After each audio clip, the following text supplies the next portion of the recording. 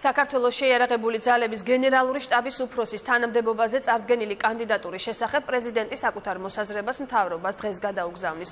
მანამდე კი პრეზიდენტი და უშიშროების საბჭოს მდივანი ვლადიმერ ჩაჩიბაიას პრეზიდენტის ადმინისტრაციაში შეხვდნენ. შეხვედრა ეროვნული უშიშროების საბჭოს ხდომის შემდეგ გამართა.